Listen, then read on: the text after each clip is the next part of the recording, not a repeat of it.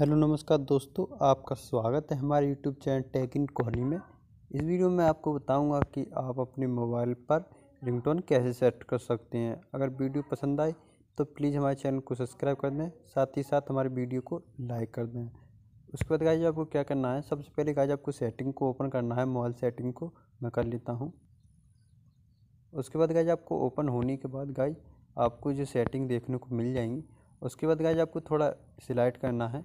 Select होने के बाद आपको एक सेटिंग दिख रही होगी साउंड वाइब्रेशन की, उसे ओपन कर लेना है।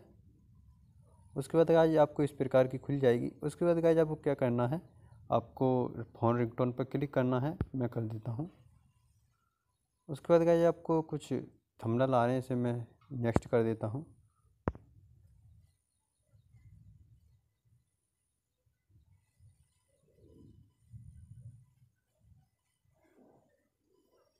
आपकी रिंगटोन है, वो आ चुकी हैं।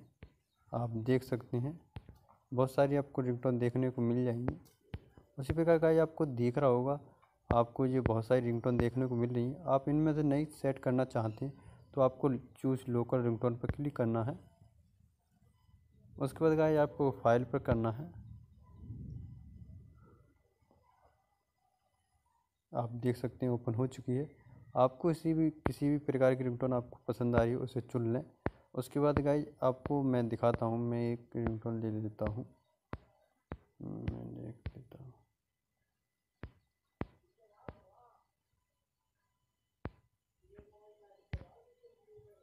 ये रिंगटोन नहीं आ रही है। मैं एक रिंगटोन आपको सेट करके दिखा देता हूँ पहले ही।